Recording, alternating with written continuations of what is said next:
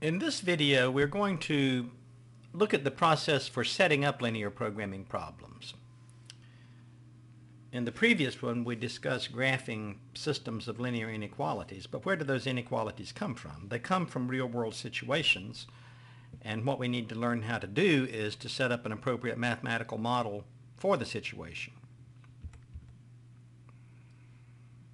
The decisions that are involved in setting up the model in, include asking ourselves these questions. What variables or unknowns are involved? What is it we're trying to maximize or minimize and how do we represent that? And then finally, what are the things that constrain or limit what we can do? How do we express those constraints in mathematical terms? The constraints, in effect, are what become our inequalities.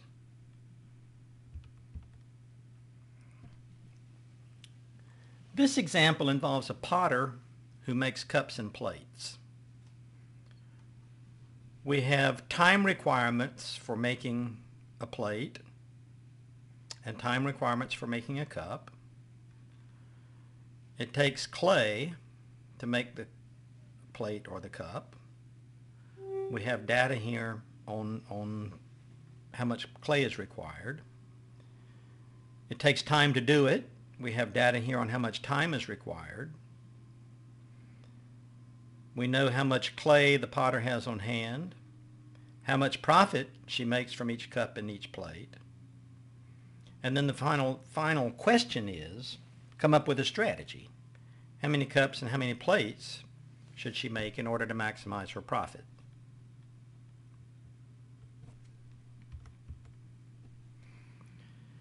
The first thing you always do in a linear programming problem is to write down symbols to represent the quantities that are involved.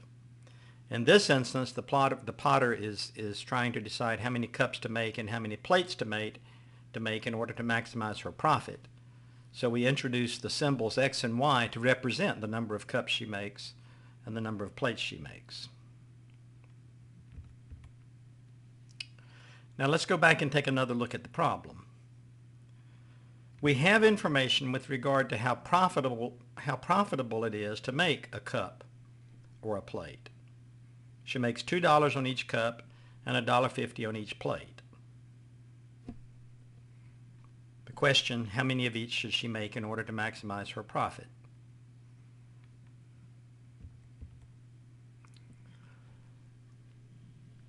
The next step is to quantify what it is we're trying to maximize. In this instance, it's profit and the amount of profit depends on how many cups and how many plates she makes. The information we have is that she makes $2 per cup, and X is the number of cups she's making. That's our decision to use X for that. Our information includes that she makes $1.50 on each plate, and we're letting Y represent the number of plates she makes. So her total profit is going to be $2 for each cup times the number of cups plus $1.50 for each plate times the number of plates. Our profit function is 2x plus 1.5 times y. Now let's think about her time limitation. She spends part of her time making cups and part of her time making plates. But the total amount of time she uses in those two activities has to be less than or equal to the total amount of time she has available. Come back to the problem and pull out the information. The information that we were given was that it takes her six minutes to make a cup and three minutes to make a plate and, and that she has a total of 20 hours available. We need to translate that into a time constraint.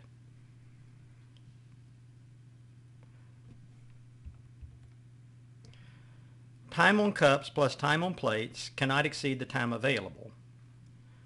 Six minutes per cup times the number of cups will be the total number of minutes spent making cups. Three minutes per plate times the number of plates will be the time spent making plates. And that cannot exceed her, exceed her total time available, which is 20 hours, or at 60 minutes per hour, that's 1,200 minutes. We need to use the same time unit throughout, obviously. If we're going to measure time on one side of the equality in minutes, then we need to switch her time available to minutes also. So if we do that, her time spent making cups is 6 times x.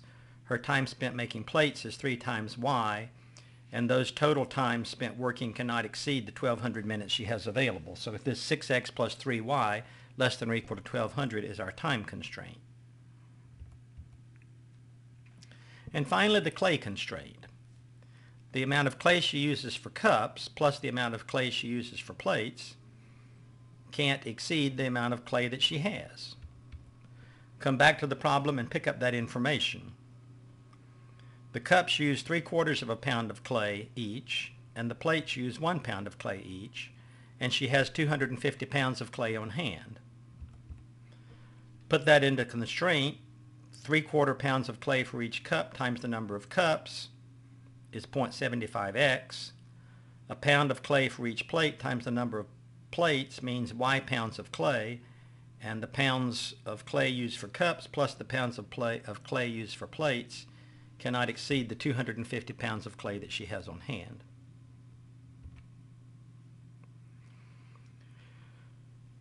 Most all the real world problems that you do will also have constraints that say x and y both have to be greater than or equal to zero.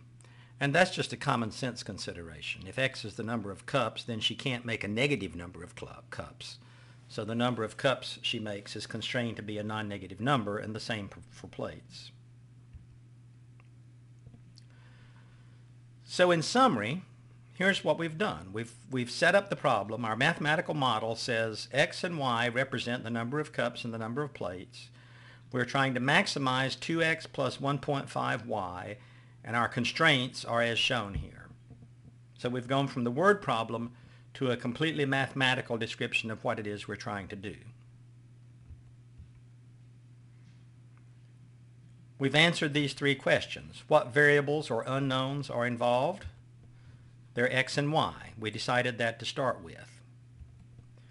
What quantity is to be maximized or minimized? And how do I express it? The quantity is the profit P, and we express it as 2x plus 1.5y. What constraints do I have? How do I express those constraints in terms of my unknowns x and y? The constraints are as shown here.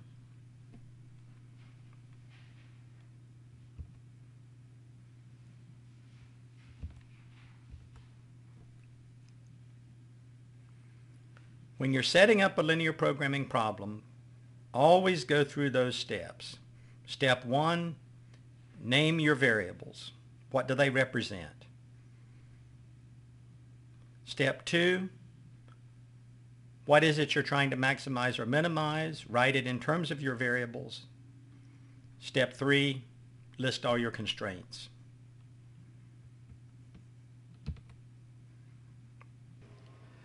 Let's return to the example we used in the previous movie to illustrate what a typical linear programming problem looks like. It was the farmer problem in which we had a farmer planting corn and soybeans on a 320 acre farm and we had the information about expenses, about storage, about profit, and the amount of storage space and capital the farmer had on hand, and the goal was to maximize profit.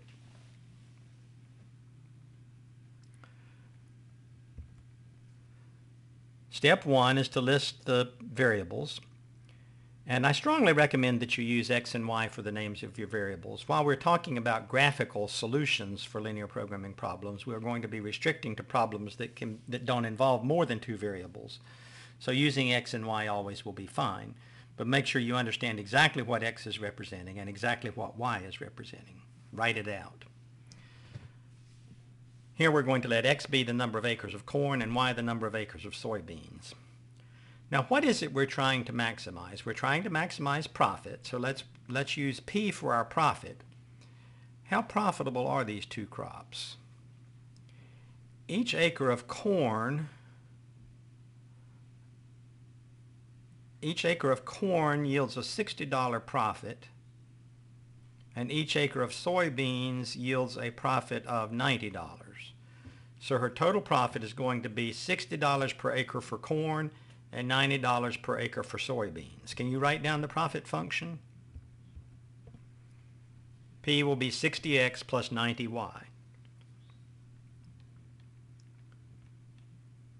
So we've completed the first step, listing our variables. The second step, writing down the function that we're going to be maximizing or minimizing. Let's go back to the problem and see what we have in the way of constraints. It's a 320 acre farm. Obviously she can't plant more acreage than she has. So there's a land constraint. The number of acres planted in corn plus the number of acres planted in soybeans cannot exceed the amount of acreage on her farm.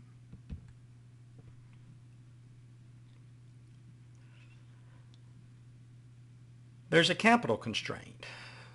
$50 per acre is the cost of planting corn. $100 per acre is her cost of planting soybeans. She only has $20,000. There's a capital constraint. $50 per acre for corn, the amount spent on corn, $100 per acre for soybeans times number of acres of soybeans would be her amount spent on soybeans. That can't exceed the total number of dollars she has.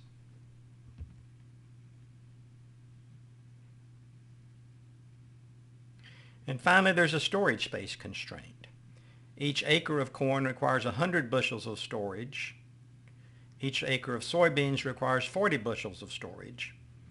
And the storage used for corn plus the storage used for soybeans cannot exceed her 19,200 bushels of storage space available.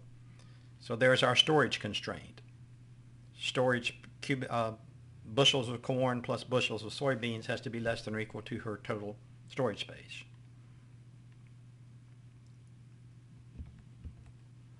As usual, we have the non-negative constraints. She can't plant a negative number of acres of corn or soybeans.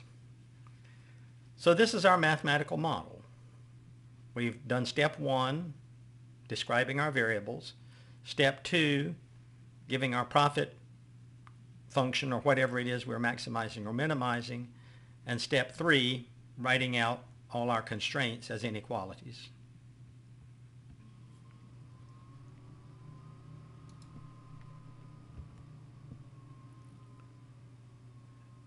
And now we've moved to the manufacture of aluminum and copper wire. We have data on electricity requirements, labor requirements, um,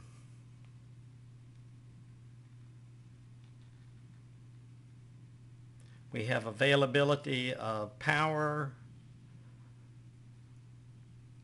there's a restriction involving raw materials, we have data on profitability.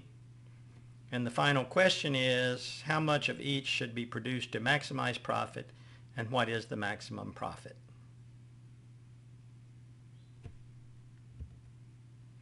We start out letting X represent the number of pounds of aluminum wire produced, Y the number of pounds of copper wire produced.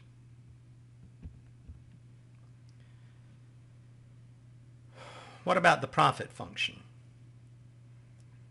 The profit is 25 cents per pound for aluminum wire, 40 cents per pound for copper wire.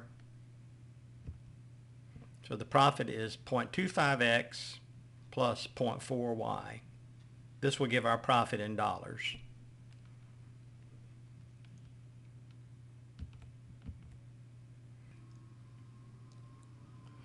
What about the raw materials? There's a limit on the raw materials that are used in making copper wire. So the total amount of copper wire is limited simply because we have a limit on that resource that's used to make it. That limits us to 60 pounds per day for the copper wire. So that's a constraint that just involves the variable, the variable y. y has to be less than or equal to 60 because of those limited resources. 5x plus 2y less than or equal to 500 is the constraint that comes from looking at the electricity requirement. Each pound of copper wire requires 2 kilowatt hours of electricity. Uh, each pound of aluminum wire requires a quarter hour, oops, 5 kilowatt hours of electricity. 5 for aluminum, 2 for copper translates into a 5x plus 2y total electricity uh, used for each added together less than or equal to the 500 kilowatt hours available. And finally, if you go back and look at the problem, you'll see that there's a labor constraint.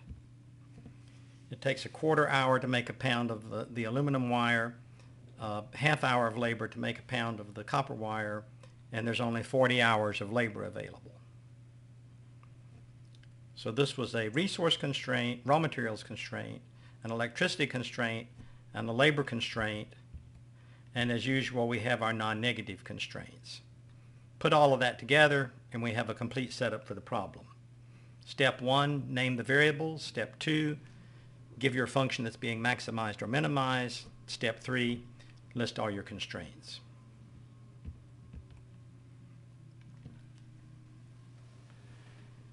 Now, as I said a moment ago, while we're solving problems graphically, we're going to limit ourselves to problems that can be described with two variables simply because it's very difficult to graph in more than two dimensions.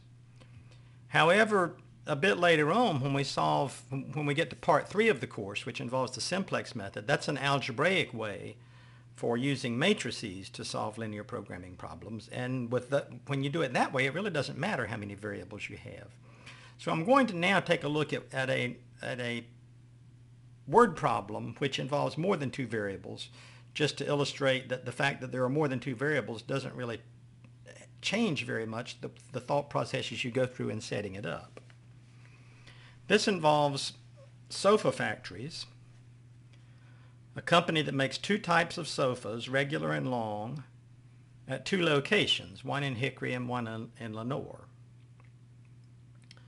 We're given information about the operating budget, um, how many sofas they can produce daily, costs for making sofas, uh, operating budget, um, reasons they want to limit production, because of uh, market factors, uh, profitability. But the bottom line, once again, is what to do to maximize the profit. What makes this different from the other examples is that there are four variables here because they're making two different kinds of sofas in two locations. So what they have to decide is how many regular sofas to make in Hickory, how many long sofas to make in Hickory, and similarly for Lenoir, how many regular sofas to make in, Lenoir and how many long sofas to make in Lenoir.